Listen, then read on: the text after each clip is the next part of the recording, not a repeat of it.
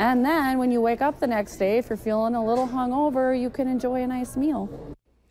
We've all heard of Black Friday, but what about Blackout Wednesday?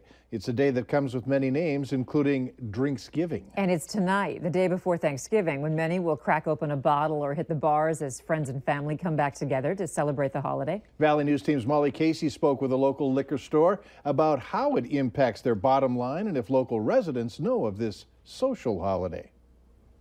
I'm here to get wine. The doors of the bottle barn started opening faster and faster as customers shuffled through to pick up wine, beer, and more for the Thanksgiving holiday. But there's also a reason many stocked up tonight. Drinksgiving. Alicia Jacobson is the manager of the Bottle Barn and says tonight is all about being social. People like to drink when their family comes over and everybody likes to try new stuff and it's a good time to drink. And residents agree. It's time to see your old friends that you haven't seen or family that you see once in a blue moon. Your family's home for the holidays, so you get to hang out and spend good time with your family. But there may be a bigger reason why liquor stores will be busier than usual. We're closed tomorrow, so everybody has to get all their booze for tomorrow today.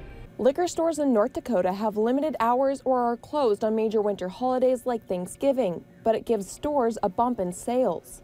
Well, it's compacted two days into one, so it's, I mean, it's a huge jump for us in one day. And there's one item that will sell more than others.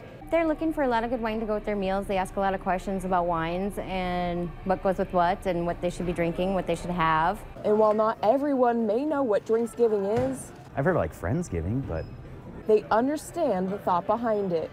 no one goes to work tomorrow, and I have to deal with family tomorrow.